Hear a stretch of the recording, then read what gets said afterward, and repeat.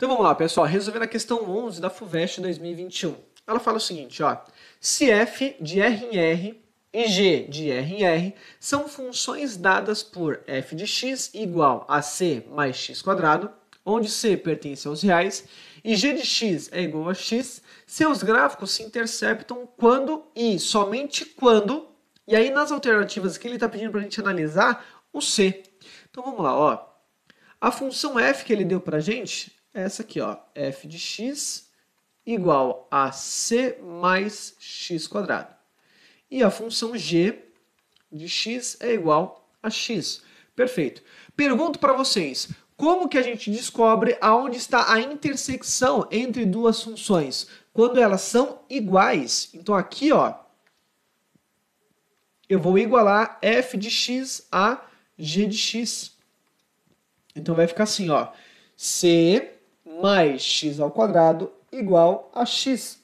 Vamos isolar todo mundo, vamos jogar todo mundo para o lado esquerdo. E aí vamos organizar. Aqui vai ficar x ao quadrado menos x mais c igual a zero. Tranquilo?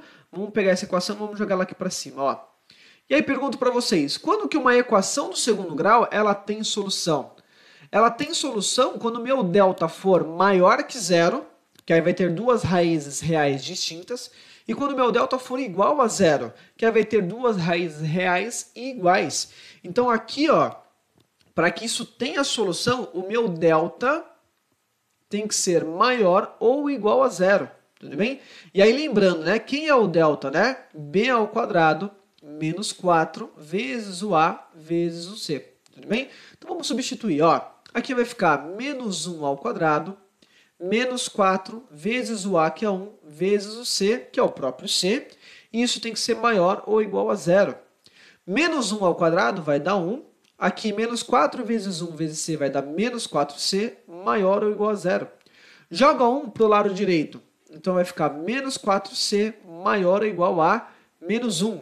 Lembrando que isso é uma inequação e o cara que está acompanhando a minha incógnita C é negativo, a gente precisa inverter o sinal da desigualdade. Então aqui vai ficar C menor ou igual a 1 sobre 4. Tudo bem?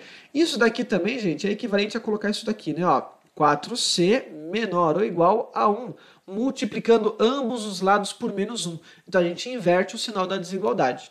Então, para que tenha solução, né, para que os gráficos se interceptem aí, o resultado tem que ser que o C é menor ou igual a 1 sobre 4, o que dá como resposta a alternativa A. Tudo bem, gente? Beleza?